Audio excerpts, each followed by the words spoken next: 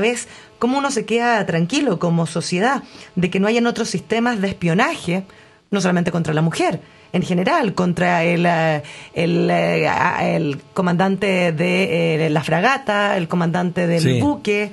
Eh, ¿No habría que revisar los protocolos de seguridad de la Fuerza Armada? Porque con un ducto de, por un ducto de ventilación almirante pueden poner eh, una cámara en el camarote así de, del, del propio comandante del buque. Y estamos hablando de un buque con gran capacidad de combate. O donde se de los to- más importantes. o la sala de reuniones donde el alto mando de ese buque toma las decisiones Claro. de inteligencia, por ejemplo.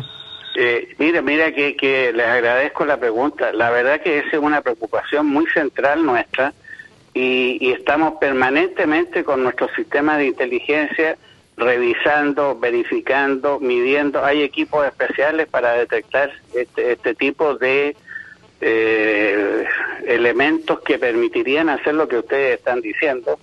Yo cuando era comandante en jefe, más o menos una vez a la semana, cada 10 días, entraban estas estas personas a mi oficina y revisaban completo y la sala de reuniones de almirante lo mismo. Es decir, esta es una preocupación permanente que se llama de contrainteligencia. Sí. Ahora, ahora esto fue detectado y esto fue informado por una persona del propio buque.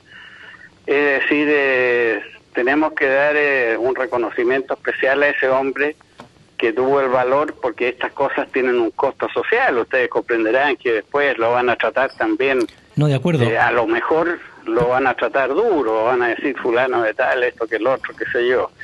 Pero Eh, hay pero un punto un- un- an- hay un punto anterior, perdón que lo interrumpa, almirante, que es eh, eh, cómo tuvieron todo el tiempo para ir eh, ir estirando los cables por los ductos de ventilación, algo que no es fácil, con una cámara que los vea, en fin. Eh, esa etapa previa a, a la denuncia que hace este oficial es la que uno dice, pucha, ¿dónde está la seguridad? que está tan vulnerable?